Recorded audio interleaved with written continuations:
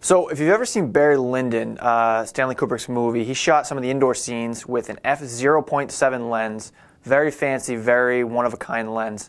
Um, but we recently reviewed the Nikon D4S. Uh, we just published the review, and it has a maximum ISO of 409,600. So, we're here in our camera labs. We're going to test this out using our standard video motion rig, um, and we're going to light it with nothing but uh, this Zippo here from nine feet away and we're going to see what uh, maximum ISO gives you.